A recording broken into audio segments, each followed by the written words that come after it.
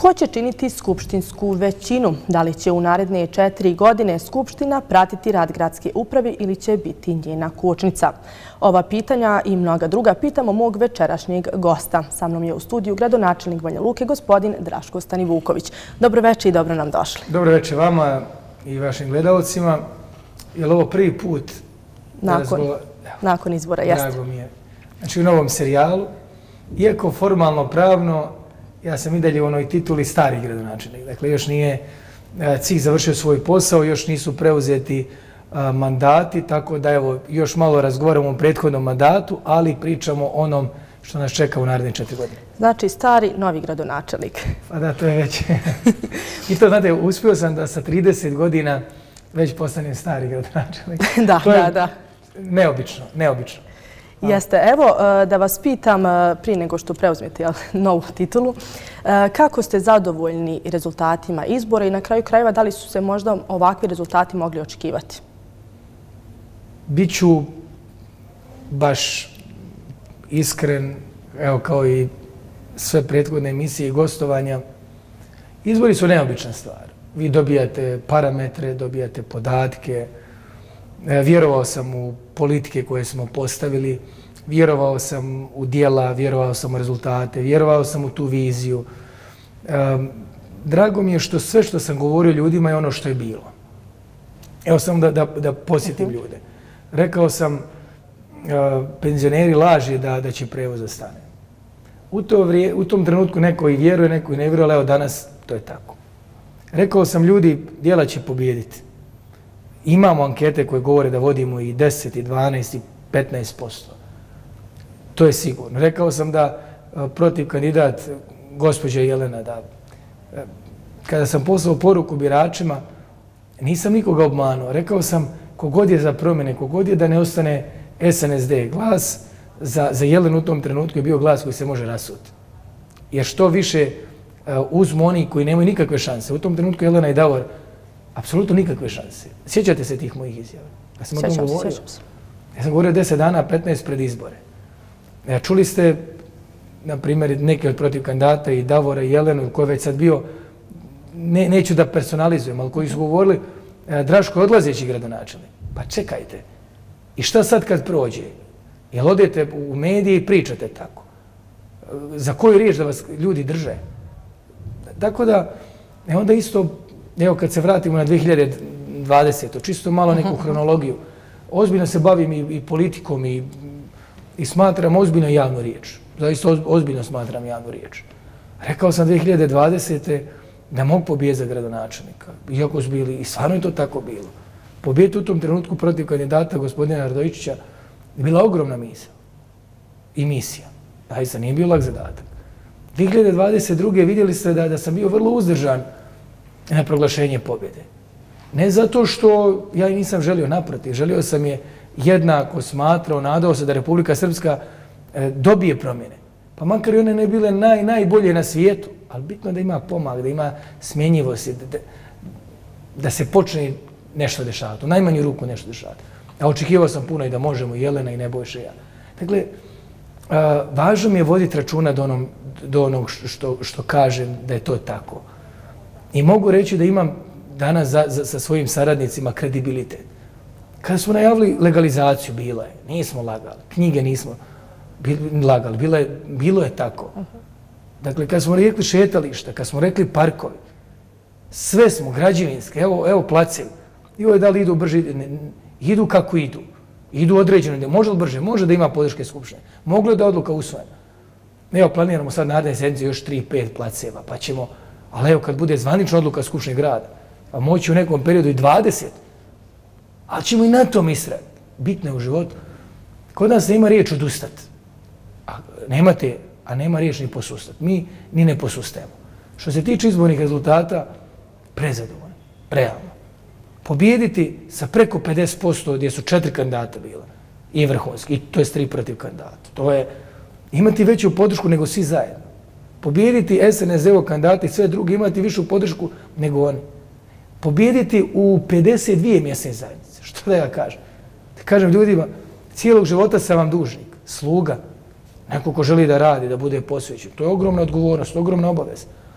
Pobjeda gradonačelnika znači pobjeda politika. Ljudi se kroz gradonačelnika opredeljuju za politike. Kroz odborničke liste, komšija, prijatelj, drug, brat, sestra, jer toliko je bilo kandidata za odbornik. To je druga filozofija. Tu kec u rukavu igra stranačka disciplina, igra stranačka organizacija, rad na terenu, a pobjeda politika je pobjeda kad pričamo o, ajde, možemo reći, na kosnim ili glavnim pozicijama. Tako da, ogromna podrška, PDP od 2016. Ja sam ga preuzeo dve godine posle, 2018. negdje već, gradska organizacija je imala rast od 200%. Sa 7.000 na 21.000, sa 19.000 glasova koji smo imali uh, prije evo, četiri godine, 2.000 smo glasova više osvojili. Pri tome, uh, odšli nam mnogi članovi, sa liste mnogi ljudi, najveći pritisak, SNSD napado, tražio, kupovo, uzmo, trgovo, šta ne sve koje su ljudi ponude dobijali. I u takvim uslovima dobiti još 2000 glasova više, da e, naša lista još napreduje, dobije veću podršku, da kao gradonačelnik dobijem apsolutno najveću podršku, podršku Republike, Republike Srpskoj, govori da smo, da budem iskren, i više od očekivanja. A, kakva je antikampanja vođena? Evo, to ću vam reći. Kakva je antikampanja vođena? Kako su bili svi protiv? Pa, veliki dio PDP-a nije dolazio na tribine. Matične stranke. Značajan dio PDP-a članova je otišao do izborne noći. Odbornika s liste, odbornika zvaničnih, odbornika kao kandidata. Trebalo sve to preživjeti. Sve to je trebalo preživjeti. Cijela opozicija se grupsala na drugu stranu. Cijela vlast na neku treću. I vi veslate, idete, nestanete. Nijedan, kad kažem nijedan medij, ne, ne, ne, ne, evo, Elta jeste nezavisni glas, ajde, sad Blic ne nabrajam sve, ali... Dobro, neki od. Je, neki od. Ali pričamo, kad kažem, svi medija, ajde, mogu govoriti o, da kažem, televizijama gdje gledanost pokriva možda i, re, i regiju zahvat. Ili da kažem, cijelu državu. O, kad pričamo o to, mislimo o javnom servisu. Dakle, onim medijima sa, sa pokrivenošću gledanosti, sve to bilo i na ovu i na onu stranu. I vi idete i opet idete. Idete mreže koje vas... I vidite, biti gradonačelnik sa svom podrškom Republike, ustanova, medija, opet je teško narod učin zadovoljni. Prirodno. Da. Puno izvarani, puno je obećano, nešto nije i, i tako. I u svim tim uslovima rad, bez podrške vlade, bez podrške republičkih ustava. Zaista, evo danas u studiju pričam vam na dve noge na zemlji, potpuno stabilan. Zadovoljni smo, međutim i dalje idemo da, da se mijenjamo. Ja gledam šta još možemo raditi. Analiziramo šta nismo dobro radili. Mislimo tih 4-5 mjeseci zajednica gdje nisam dobio najveću podršku. Što tu možemo da uradimo? Kako tim ljudima prići? Razmišljam i o poruci koju su mi dali glasači SNSD-a. Razmišljam o poruci koju su dali glasači koji izglasali za Jelenu. Šta za njih? Kad kažem glasači, to su ljudi. To su naše banjolučani. To su, da su građani. To su građani, to, to su živa bića. Zašto? Kako možemo? Šta oni očekuju od mene? Kako oni da budu e, u, u perspektivi zadovoljni e, politikama grada? Zato sam zaista otvoren na konsultacijama, evo koje sam zakazao, da razgovaram sa svim strankama. I da ih pitam, a šta to treba da uradim? Razgovarat ćemo o tome malo kasnije. A, da vas pitam, e, prije toga, evo, juče ste na sjednici gradskog odbora odlučili e, ko će ići u Skupštinu grada, a ko će biti narodni poslanik. Interesuje me zašto ste odlučili da Nebojša Drinić pojača gradski parlament? Prvo, mi smo demokratska stranka, učimo se. I po tom pitanju sam možda ja nekad pravio greške. I po pitanju nekih stvari gledano proceduralno, u želji, strasti, brzini, su možda napravili neke previde, jesmo sigurni i želimo i to da popravimo. Čovjek cijelog života treba da se uziže, popravlja i bude bolji. Mi na tom putu smo samo čitali ono što nam narod kaže. Naša stranka ostvarila rezultat od 21.000 glasova. Nebojša bio kao narodni poslanik mnogo posvećen Banja Luci čak gotovo kao i svom poslu kao narodnom poslaniku. Kandidovao se ovdje da osnaži našu listu, da da svoj doprinos i sve što je radio na terenu, dobio podršku od preko 8000 glasova. On imao podršku veću nego skoro sve, bo da, njegova podrška pojedinačna je zbije svih opozicijnih stranaka. Šta to kaže? Pa ostanite ovdje. Ljudi sa Manjače, ljudi sa iz Potkozarskih sela, Aginog sela ili Barlovaca, Kuljana, gdje god se bili, ogromnu podršku dobio, kažu Nebojša i kažu PDP-u, kažu meni kao predsjednik gradskog odbora, da ljudi, oni, onim ljudima koji su dali lične preferencije, oni ljudi koji su prešli unutar stranački cenzus, imaju obavezu prema gradu. Ljudi su ipak stavili preferenciju tu. E onda nisam ja odlučio. Sjeli smo, razgovarali, organi stranke su odlučili, ja njima predsjedavam, predlažem. To je bio moj prijedlog koji je dobio podršku. I a, potreflo se savršeno da Bojan Kresović, mi, mi to nekako ja vjerujem u znakove pored puta. Bojan je bio odličan gradski menadžer, vrhunski radio svoj posao. Bio u, u, u prvi mah moj savjetnik, poslije gradski menadžer, mlad čovjek, e, master nauke, sve što je završio, najbolji student, matematičar, baš ima neki klik. I ono što je dobro kod nas, on potpuno razmišlja na jedan način, ja na drugi, onda kad mhm. sjednemo, imamo sva sagledavanja. On je pisao zakone. On je sam imao, on je išao prema Skušnje republike. Uopšte nismo znali da, da ovo, ovo će ići u tom pravu. Niste mogli neke stvari da predvidite. A kad se desilo da kažem, pa vidite, ovo je najbolje. Čovjek koji je već pisao zakone, čovjek koji već se bori a, da se ukine PDV na nekretnine, pa sad PDV a, za ljude koji prave kuće. I to je stambeno zbrinjavanje. Nemojte tu da plaćamo PDV ako se ne plaća za stambenu jedinicu. Pa I kuća je stambena jedinica. Živi se, naravno. Jednostavno nišao u tom. Hiljade zakona, predlagao našoj tanji e, Vukomanović, Mirni Savić Banjac, uh -huh. preko našeg kluba, preko Nebojša. E, i sad on, on je dobio preko 5000 glasova kao tada kandidat za poslanika. I vidi se u tome, vidim da ga to ispunjava i prosto mi, ne, mi kao ozbiljna stranka, prvo stranka rezultata. Morate gledati, ako neko ima rezultat, mora biti nagrađen.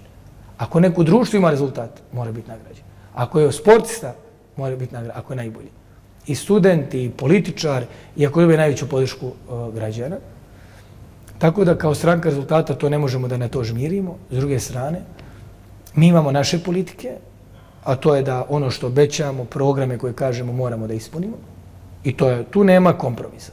Što se kaže, to se mora uraditi. I to je.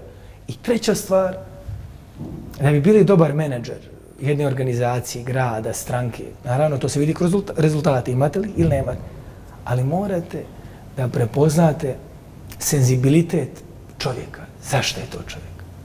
Zašto je to Nebože, zašto je to Bojan, zašto je to Draga Milanović, zašto je to Tanja Vukomanović, Mirna, gdje oni najbolji? I u tom duhu da, da vodite kadrovsku politiku, tako da s ovim rješenjima ja sam e, zaista zadovoljan i siguran sam da će to značiti uh, ogromno povećanje skuša Republike Srpske. Ja sad kažem, uh -huh. on će biti jedan od ubjeljivo najaktivnijih poslanika. Ja, ja ću reći, evo, jedan od, pošto i u PDP ima mnogo kvalitetnih, ali zaista poznajem ga, a Nebojša kao odbornik će dati jedan svoj pečat, a ono što je meni važno, kao gradonačnik i predsjednik eh, gradskog odbora, da ostaje čovjek koji je e, strastveni zaljubljenik u teren. Teren narod, e, ja mislim da je, da je Nebojša, e, mnogi ga, znate, kad je neko vrijedan i ide i ne zasajkuje, onda ga mnogi kritikuju. Pogledajte vi njegov radni dan, ja vam garantujem, da posljednjih par godina je on, evo, prosjek, 16, 17, 18 sati teren Banja Luka, sela, grad, prigrad, a ovi 4, 5, 6 sati je možda kuće. 4, 5, a vamo 16, 17, 18. Eto, bukvalno tako. Evo, kako vi komentarišite da će u SNSD-u vrh stranke odlučiti ko ide u Skupštinu grada? Evo, da li je to na neki način, uh, da kažem, nepoštovanje volje građana? Čuli ste moj odgovor. Da. Dakle, vi imate u SNSD-u ljude, ja neću nikog imenovati da ne bi bilo da... Da, nećemo. Vi imate ljude koji e, su osvojili ogroman broj glasova. Nekih i 8.000, i 5, i 4. I onda kažu džaba, što se... Narod je htio te neke pojedince. Čim su iskočili, u SNSD-u i PDP-u napraviti, e, preći unutar stranački cenzus je ogroman uspjeh. Zaista ogroman uspjeh. Jer stranka je ogromna. Nisu u stranci koja ima 20-30 hiljada glasova i u stranci koja ima 2-3 hiljade preći cenzus. Vamo sa 200-300 glasova prećete cenzus. Narod izabrao neke ljude, onda se kaže vrate mandate, biraće ili jedan čovjek ili, ili par ljudi u stranci. To je se mimo ono što izborni zakon je rekao. Jer izborni zakon je rekao, ko ne pređe cenzus, ide kako je stranka poredila da je najbolji. I to je odluka stranke. A onda je zakon rekao, ako neko bude jači od tog cenzusa i to, onda on ide direktno. On su radili mimo toga. Dakle, u slučaju PDP-a mi idemo i slušamo šta kaže narod, a oni imaju neke unutrašnje, da li e, red ili nered, ili poredak, ili diktaturu, ili je anarhija, pa se samo ovako može uspostaviti sistem, ili ima nepovjerenja. Sad su to ipak stvari njihove unutrašnje. Mi se bavimo ozbiljnim politikama, mi imamo odlične međuljudske odnose.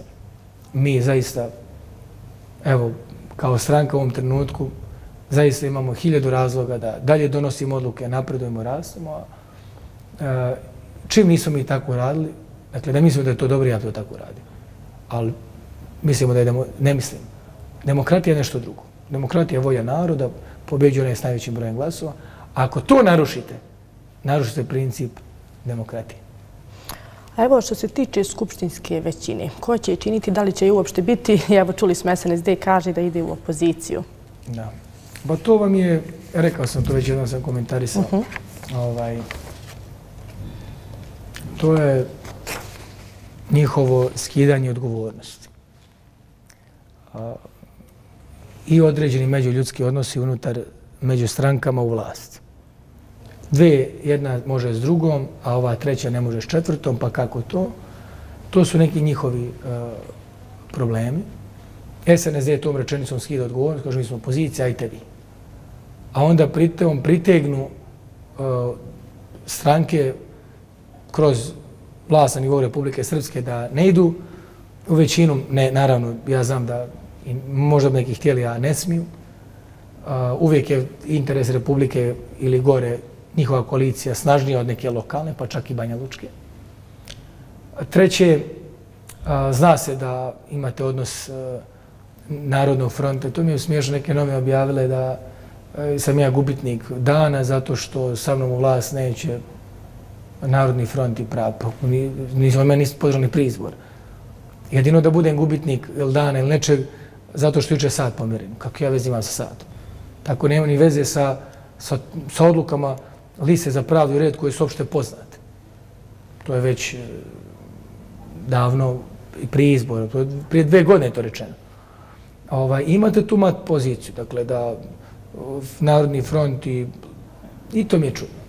Vi ste vidjeli da evo i politike koje su oni imali. Znači, prije dve godine da su bili izbori u, u Banja Luci, Lisa za pravdu i red, Nebojša Vukanović imala bi tri, četiri mandata, četiri mandata. Danas jedva jedan. E, dio ljudi iz Narodnog fronta koji kad je bio PDP imao sedam mandata, danas dva, sa gradonačelnikom sa 10, 11, 12 hiljada glasova. To, to su male cifre. Šta su ljudi rekli? Pa ne politikama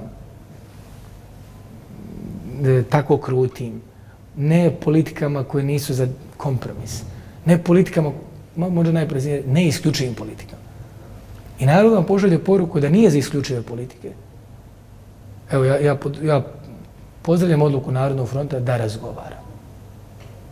A onda se odmah građuje, mi nismo za koaliciju. Niko ne traži ovoj koaliciji. Ovo traži, mi ovdje trebamo naći minimalan način kako grada funkcioniše. Nemamo ja nikakvu ni pretenziju za ne znam kakve koalicije, za kakve podjele nekog plijena i to, niti to naše opredeljenje. Evo, tamo da vas pitam, onda, e, najavili ste niz sastanaka sa predstavnicima gotovo svih političkih partija. Šta ćete im reći? Pa ja ću im reći ovako, evo.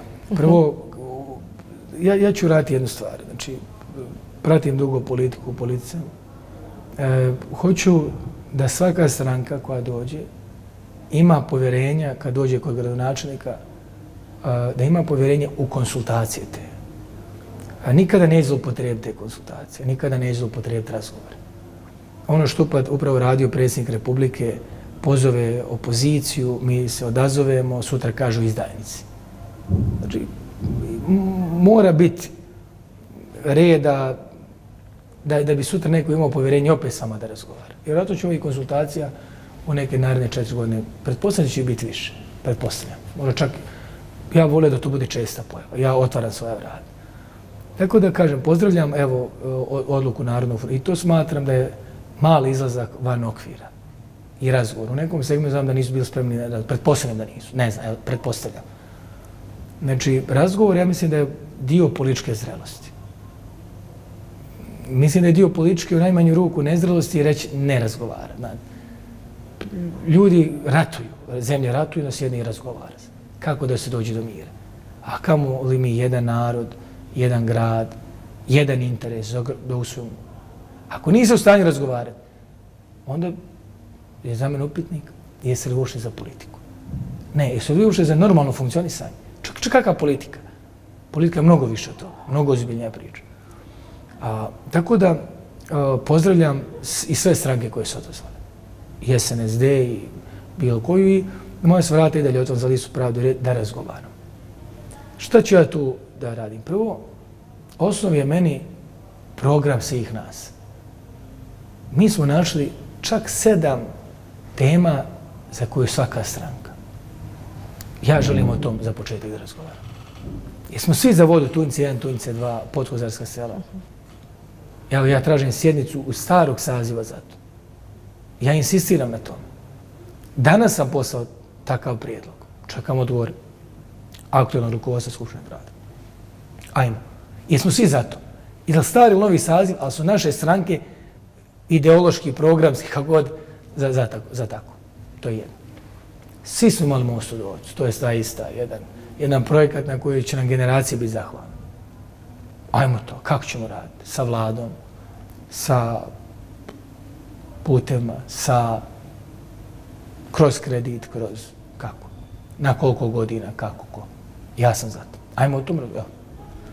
Kolektor. Razgovarali smo sa EBRD-om, sa kinezima, sa, sa, sa, radimo projekat. Kako? Evo mi dajemo ovaj koncept koji vi, ajmo to raditi. Ajmo da pričamo o vrtićima. Ajmo da pričamo o subvencijama vrtiću. Ali ne na način, i to ne, odmah ću to reći, ne na način sve, znate, sve iz budžeta, sve iz rashoda, a ne brinemo o prihodima, ne brinemo. To, to ne može. Znači mora se obezbijeti prihodi, mora se raditi na budžetu grada, mora se raditi na politikama, kroz koji ćete skupiti novac i koga možete raditi velike investicije. Mora se raditi kapitalne investicije kroz kreditna sredstva i tako. To su neki poslovi. Ja želim sa svim strankama da razgovaram. Ako neko nije za konce kako ja predlažem rješenje kolektora, u redu, ajde da vidimo vaše. Pa ajmo raditi, ajmo razgovarati. I da razgovaramo o minimalnim programskim opredeljenjima stranaka. To je jedan segment. Drugi, rekao sam, ja sam gradonačnik ljudi koji su glasali za Jelenu Trivić. Ja sam danas nikog gradonačnik koji su glasali za Nikolu Šobota, koji su glasali za Davora. Meni su ti ljudi veoma važni. To su moji ljudi, to su moji Banja Luča. Nemo šta su to oni imali u programu i to je narod prepoznao kod njih, a nije prepoznao kod mene. Ja želim i to da usvojim. Ja želim da njih pitam šta je to za svaku stranku važno. Pa da kroz četiri godine raspodijelimo, ne možemo u jednoj godini se. I to će biti dio programa politika koji ćemo istaviti. Ja mislim da je to zrelo. SNSD imao to, mi možda nismo imali program, imao je PDP. Evo, mi hoćemo da napravimo odjeljenje za brigu o porodici i demografiju. Jedno cijelo odjeljenje, samo to. Da ostati sve mjere podrške porodci, ljudima i tako dalje. Da sve ono što smo podržali od knjiga, legalizacije, prevoza, građevinske dozvola, legalizacije, sve to bude u jednom odjeljenju sve što dajemo porodci, odjeljenju za porodicu, plus demografija na, na kojoj ćemo dodatno intenzivnije raditi. Evo, to je naš program bio. I mi ćemo se to zalagati. Ja kao predsjednik gradskog odbora i znači kao jedna ličnost.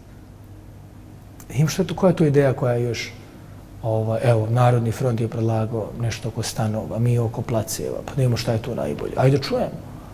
Naravno, se ne, ne, ne zavaram se ja da možemo u četiri godine sve da uradimo. Ali da uradite i 50-10% od svih programa strana, pa i ovaj, Banja Luka, ovaj prema napad. Tako da su to teme, naravno, ja ću otvoriti da se razgovara i o Skupštini, da li ima želju da se napravi rukovodstvo, da li ima želja da se pravi neka većina, ja sam otvoren da čujem svačije stavove i na bazi toga, evo, vjerujem da ću izaći s nekim prijedlozima, nama će i brzo konstitutivna sjednica, možda za, ako je podjela mandata za sedam dana, pa 20 i nešto dana od toga, znači do kraja novembra može biti prva sjednica. Evo, jeste li vi spremni da se i naredne četiri godine borite bez skupštinske većine? Prijethodne četiri godine smo često mogli vidjeti da je to izuzetno teško. Ja nemam pravo odustati, nemam pravo posustati. A e, to vam je, znate, da li ste vi spremni hodati po snijegu? Pa ako napada, moram. Da li ste vi spremni, znate, pada kiša, pa, pa pada, pa idem. A ugrijalo, pa ugrijalo. Pa evo, prvi dan mandata kad sam postao bio zemljotres, pa smo morali tu posljedice da, da vidimo. U jednom trenutku bile velike vode pa bujični potoci, pa ste i, i to morali. Dakle, tu, tu vas nitko ma, nit mazi, nit pita, nit, nit, nit tetoši, nit ja to tražim. E, ja ću se boriti za što bolju protočnost naših odluka, da što manji građani bilo šta osjete politički. Rekao sam, ja ću dalje da vodim razgovore sa vladom Republike Srpske, institucijama Republike Srpske, predsjednikom Republike Srpske, predsjednikom Srbije, predsjednikom ljudima koji predstavljaju države, ambasadorima, fondovima, bankama. Dakle, ja za svoju Banja Luku mora da radim. Banja Luku mora da predstavljam u najboljem svjetlu. E, radit ćemo u narodnom periodu i da Banja Luka dalje dobija bratske gradove na odnosima sa gradovima, sa državama, sa zemljama. E, radit ćemo na turističkoj ponudi grada. Dakle, moje je da, da radim najbolje dom zdravlja, direktorica DLSNSD, gdje moje da radim. E, turistička organizacija, ko je direktor, ko će biti moje da radim, naše da radim.